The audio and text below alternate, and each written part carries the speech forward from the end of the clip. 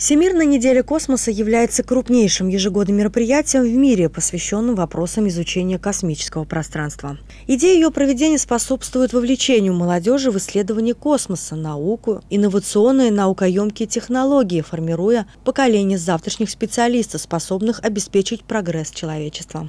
Кроме того, миссия данного проекта является широкое просветительство для формирования в общественном сознании понимания важности космических исследований и необходимости международного сотрудничества в космической деятельности и просветительской работе. С 4 по 10 октября в мемориальном комплексе летчика-космонавта СССР Андриана Григорьевича Николаева проводятся мероприятия в рамках Всемирной недели космоса.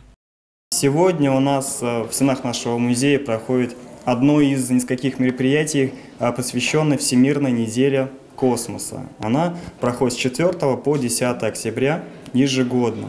И в программе нашего мероприятия есть лекции, которые рассказывают о первом искусственном спутнике Земли, а далее лунные зонды, просмотр фильмов о космосе обязательно, квесты по музею, это квест э, «Космические открытия» и квест «Что, где, когда». Начало космической эры, год на орбите, как стать космонавтом, строение Солнечной системы, как устроена ракета. Это и много другое узнают школьники на интересных тематических встречах.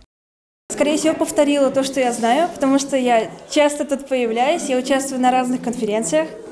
Я очень рада, часто занимаю призовые места. В республике часто занимаю третье, в России как-то занял первое место. Учим стихи, встречаем гостей. Ну, ну, у нас как 12 а, апреля, 5 сентября это большие праздники, к нам много гостей приезжает, мы очень рады этому. Сегодня мы пришли на это мероприятие, которое организовано в честь недели космоса. На этом мероприятии было очень много интересного.